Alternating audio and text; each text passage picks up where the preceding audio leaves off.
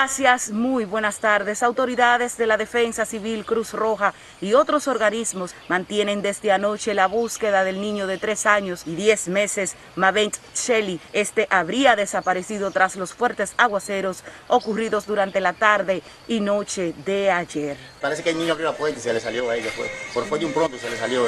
Ya vino a salir, ya, ya, ya parece que el niño iba a ver. Ese caño, cuando llueve, se rebosa y sale a la calle, ¿sabe? Porque rompen a tirar de basura toda la gente de para allá abajo. Entonces el caño cuando llueve mucho sale para acá.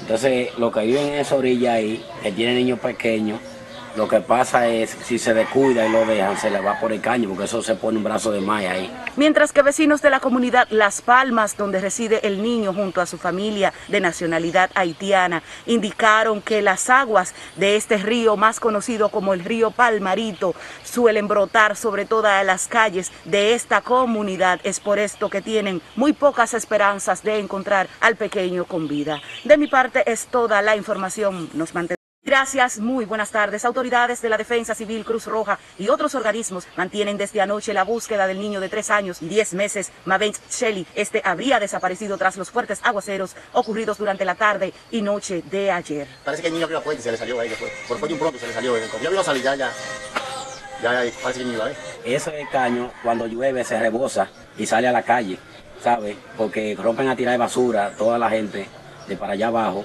Entonces el caño cuando llueve mucho sale para acá. Entonces los que viven en esa orilla ahí, que tienen niños pequeños, lo que pasa es, si se descuida y lo dejan, se le va por el caño, porque eso se pone un brazo de malla ahí. Mientras que vecinos de la comunidad Las Palmas, donde reside el niño junto a su familia de nacionalidad haitiana, indicaron que las aguas de este río, más conocido como el río Palmarito, suelen brotar sobre todas las calles de esta comunidad. Es por esto que tienen muy pocas esperanzas de encontrar al pequeño con vida. De mi parte es toda la información.